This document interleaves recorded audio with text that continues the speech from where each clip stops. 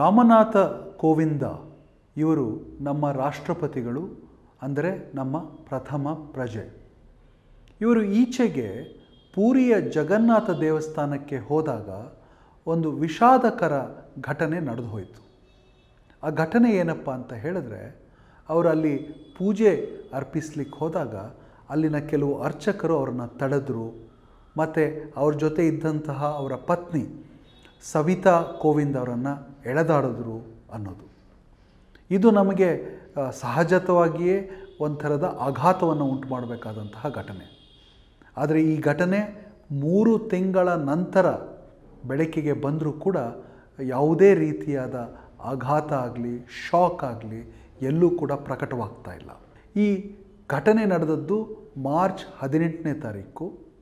March ಹತ್ತೊಂಬತ್ತನೇ ತಾರೀಕು ರಾಷ್ಟ್ರಪತಿಗಳು ದೆಹಲಿಗೆ ವಾಪಸ್ ಹೋಗಿ ಒಂದು ಖಡಕ್ಕಾದ ಪತ್ರವನ್ನು ಆ ದೇವಸ್ಥಾನದ ಆಡಳಿತ ಮಂಡಳಿಗೆ ಬರೀತಾರೆ. ಅನಂತರ ಒಂದು ಎನ್ಕ್ವೈರಿ ಸೆಟಪ್ ಮಾಡ್ಲಕತ್ತೆ ಮಾರ್ಚ್ ಇಪ್ಪತ್ತನೇ ತಾರೀಕು. ಆ ಎನ್ಕ್ವೈರಿಯ ಮೊದಲ ಮೀಟಿಂಗಿನ ಮಿನಿಟ್ಸ್ನಲ್ಲಿ ಈ ಘಟನೆಯನ್ನು ದಾಖಲಿಸಲಾಗುತ್ತೆ. ಇದು ಯಾವ ಕಾರಣಕ್ಕಾಯಿತು ಈ ಥರದ ಘಟನೆ ಅನ್ನೋದನ್ನು ನಾನು ಇಲ್ಲಿ ಬಿಡಿಸಿ ಹೇಳಬೇಕಾಗಿಲ್ಲ. ಇದು ಆದದ್ದು ನಮ್ಮ ರಾಷ್ಟ್ರಪತಿಗಳ ಹುಟ್ಟಿನ ಕಾರಣಕ್ಕಾಗಿ ಮತ್ತು ಅವರ ಜಾತಿಯ ಕಾರಣಕ್ಕಾಗಿ.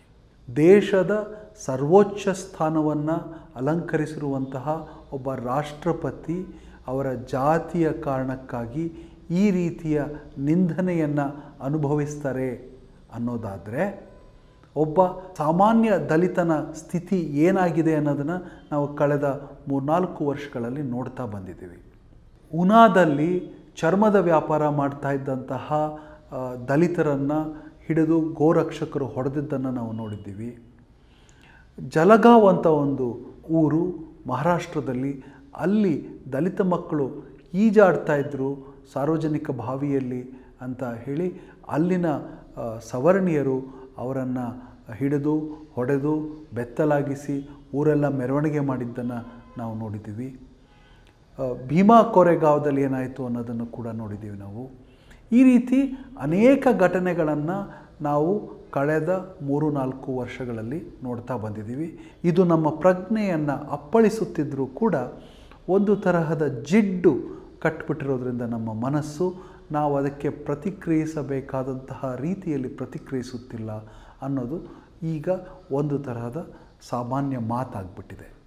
ಈಗ ರಾಷ್ಟ್ರಪತಿಗಳಿಗೆ ಅವಮಾನ ಆಗಿದೆಯಲ್ಲ, ಅಂದರೆ ಈ ದೇಶದ ಸರ್ವೋಚ್ಚ ಸ್ಥಾನವನ್ನು ಅಲಂಕರಿಸಿರುವಂತಹ ರಾಷ್ಟ್ರಪತಿಗಳಿಗೆ ಅವಮಾನ ಆಗಿದೆಯಲ್ಲ, ಹಾಗಾದಾಗಲೂ ಕೂಡ ಮಾಧ್ಯಮಗಳು ಇದನ್ನು ಹತ್ತಿಕ್ಲಿಕ್ಕೆ ಪ್ರಯತ್ನ ಪಟ್ಟಿದೆ ಇದೇನು ಮುಖಪುಟದ ಸುದ್ದಿಯಾಗಿಲ್ಲ, ಅಥವಾ ಸಂಜೆಯ ಪ್ರೈಮ್ ಟೈಮಿನ ಡಿಸ್ಕಷನ್ ಕೂಡ ಆಗಿಲ್ಲ. ದಲಿತ ಸಂಸ್ಥೆಗಳು ಇದಕ್ಕೆ ರಿಯಾಕ್ಟ್ ಮಾಡಿಲ್ಲ, ದಲಿತ ನಾಯಕರು ಇದ್ರ ಬಗ್ಗೆ ಮಾತನಾಡಿಲ್ಲ. ಒಂದು ಸಮಯ ಇದೇ ರೀತಿಯಾದ ಅವಮಾನವನ್ನು ಮೋದಿಗೆ ಮಾಡಿದರೆ ಜನ ಸುಮ್ಮನೆ ಇರ್ತಾ ಇದ್ರ?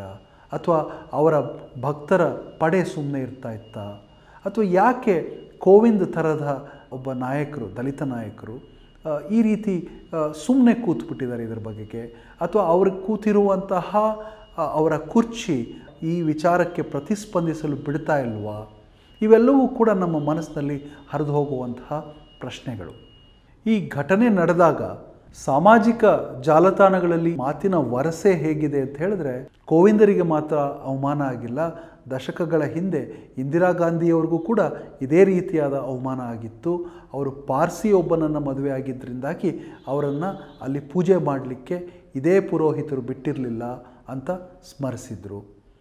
ಮತ್ತು ಅದೇ ಮಂದಿ ಮಹಾತ್ಮ ಗಾಂಧಿಯವರನ್ನು ಕೂಡ ಈ ಪೂರಿಯ ಪುರೋಹಿತರು ಕೆಟ್ಟದಾಗಿ ನಡೆಸ್ಕೊಟ್ಟಿದ್ರು ಅಥವಾ ಅವ್ರ ಬಗ್ಗೆ ಕೆಟ್ಟದಾಗಿ ಮಾತನಾಡಿದ್ರು, ಏಕೆ ಅಂತ ಹೇಳಿದ್ರೆ ಅವರು ದಲಿತರ ಅಸ್ಪೃಶ್ಯತೆಯ ವಿಚಾರವನ್ನು ಸಾರ್ವಜನಿಕ ಸಂವಾದದ ಭಾಗವನ್ನಾಗಿಸಿದ್ರು ಅನ್ನೋ ಕಾರಣಕ್ಕಾಗಿ. ಮತ್ತೊಂದು ವಿಚಾರ ಏನಿತ್ತು ಅಂತ ಹೇಳಿದ್ರೆ, ಈ ಘಟನೆಗೂ ಬಿ ಜೆ ಪಿಗೂ ಯಾವುದೇ ಸಂಬಂಧ ಇಲ್ಲ. ಅಲ್ಲಿ ಅಧಿಕಾರದಲ್ಲಿರುವಂಥದ್ದು ಬಿ ಜೆ ಡಿ ಸರ್ಕಾರ, ನವೀನ್ ಪಟ್ನಾಯಕ್ ಅವರ ಸರ್ಕಾರ, ಅವರು ಅದಕ್ಕೆ ರೆಸ್ಪಾನ್ಸಿಬಲ್ ಅನ್ನೋ ರೀತಿಯಲ್ಲಿ ಒಂದು ಒಂದು ಸಣ್ಣ ಚರ್ಚೆ ನಡೆದಿತ್ತು. ಆದರೆ ನಾವು ಇಷ್ಟು ಶಾರ್ಟ್ ಸೈಟೆಡ್ ಆಗಿ ಇದರ ಬಗೆಗೆ ಮಾತನಾಡಲು ಸಾಧ್ಯನೇ? ಇದು ನಮ್ಮ ಸಮಾಜದಲ್ಲಿರುವಂತಹ ಸಮಸ್ಯೆ. ಯಾವುದೇ ಒಂದು ಪಕ್ಷದ ಸಮಸ್ಯೆ ಇಲ್ಲ. ನಮ್ಮ ಎಲ್ರಿಗೂ ಇದರಿಂದ ಅವಮಾನ ಆಗಬೇಕು ಅಂತಷ್ಟೇ ನಾವು ಹೇಳ್ಬೋದು.